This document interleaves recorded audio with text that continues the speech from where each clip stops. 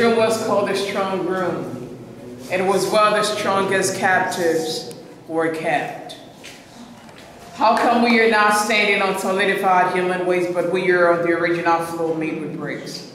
It's simply because in 1974, there was some group of archaeological students who came here to take the floor for their research.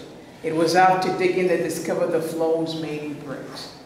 Before they could touch the floor, they left some white markings on the walls to show the level of the accumulation of the solidified human waste. And we got these white markings on the walls. The basis of the white markings, that was the level of the solidified human waste. So it makes us right to my ankle. So is this one. Meaning a slave could stand in his own ways right up to this level.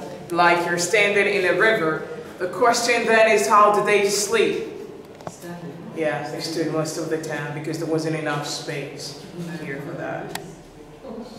Science tells us that if you stay in darkness for a long time, the sensitivity of your eyes increases 100,000 times.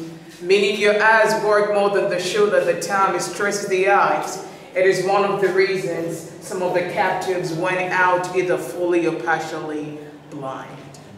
Hmm. They stood there digging the floor, did not take everything away. They left a sample for us. So before 1974, the entire floor had this covering, meaning what we have here is not mere dust. This contains the DNA of the enslaved Africans. This is a mixture of their blood, tears, sweat, the food they ate, the dust of their feet, and anything else the captives left behind.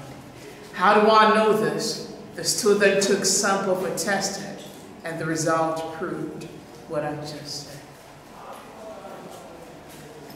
Any submissions?